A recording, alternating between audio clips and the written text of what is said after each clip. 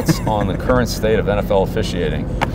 Uh, Thank you, Pat. Yeah. well, uh, I would say this: the the speed and athleticism and how great these athletes are on sideline catches and reaching out the ball on the goal line and all those things. It's tough.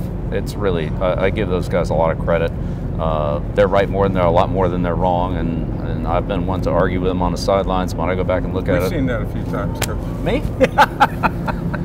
but most of the time, they, they, they get it right and they do a good job. Um, I think that the uh, replay assist sped up the game last year. I thought that was good. Uh, that, that, it really corrected some things uh, that were turned out to be obvious, and that was a good addition. And uh, I guess the one thing is always a question about is making uh, officials full time. Yeah. Uh, maybe at least the referees, where uh, you know they have that constant, you know, talking about situations, and I think that's the biggest thing in the league is as a coach is you just want consistency, and yeah. you know sometimes you you have games that are, are called tightly, and then the next week you feel like you're playing the same way, and and it's not called tightly, and so. Um, know, maybe your thoughts on that? No, you're, you're right on the, the consistency. We all use that as our barometer. And I think it's the consistency in the calls on the field, the consistency from crew to crew, uh, which, mm-hmm. as you know, has varied, and we've tightened that a little bit in the past year. Uh, but, you know, I do think um, the officials do an amazing job, it, but it is a fast game. And mm. it's imperfect. I'm, I'm watching playoffs in other sports, and those guys are full time, and I'm seeing the same kind of controversy. So I think it's part of officiating. I think it's part of the position they're in, a difficult job. And we saw that a little bit this year. Uh, you know, the, the, Kansas City play with Buffalo, you know, that was an obvious offside. Mm-hmm. The officials have to call that, no matter the moment. That's not fair to the other team. Buffalo would have had a, a legitimate right if that play had gone forward without a flag. So we know they're in a tough spot, and I don't think they get enough credit for it, but we're always going to go for that perfection. And when we can use technology, replay is really the thing that we think we can use more of and I think every year you've seen us, and you know this because you've been a big proponent in the past, is let's use more of it. Commissioner, I'm going to put in my pitch, my annual pitch. cameras on the goal line, cameras on the sideline, cameras on the end, uh, in, on the end line. And that is the annual pitch.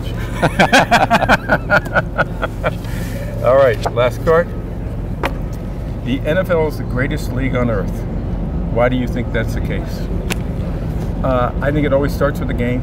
Uh, there's mm-hmm. so many aspects of the game that I think are appealing. Uh, the strategy, the contact, uh, the incredible athleticism, the fact that you have to play as a team is, uh, and, and, how people come together. The fact that you have games that go from, uh, you know, a, a, team way behind and a team comes back.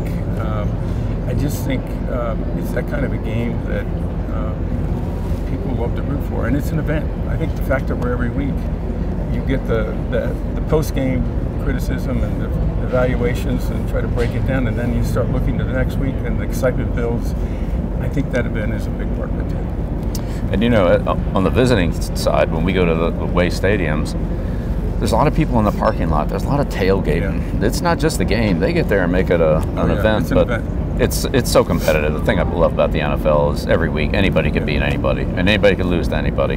Uh, if you're not on your best, then you know you're probably not going to do well. So um, the way it's structured, both uh, you know from acquiring players and salary cap and competitively, it's uh, it really evens out, and, uh, and, I love the competition of it. And we make it hard for you when you win. you and do. you know we've had uh, we've had a team go from last to first. I think 19 out of the last 20 seasons, and to your point, that competitiveness we had 70% of our games within one score in the fourth yeah. quarter. Yeah. That's great football, great entertainment. It really is. Yeah. And well, thanks, Coach.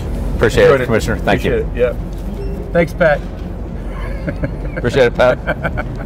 Just two guys joshing it up out there in the green room, chit chatting about all the hot topics. Gave a couple fluff questions in the cards, you know, but had to get some you know, actual conversation going there. Shout out to Connor, Tone, and Evan Fox getting that thing done.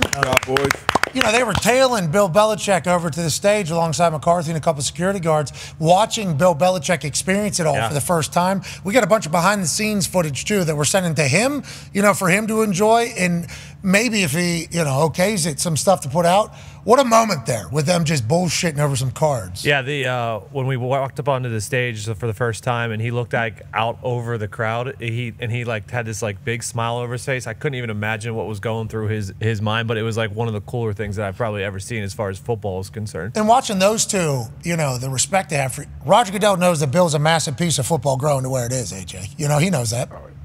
There's huge mutual respect you can feel between those guys, and I, I like Rog saying he's amazed at the interest that the game has. Like that's one of the first things he said, and I guess it is like it probably does kind of amaze him every time they. It seems like whatever they try works out, doesn't it? It really. Seventy percent of games are one score games. That's It's like- wild.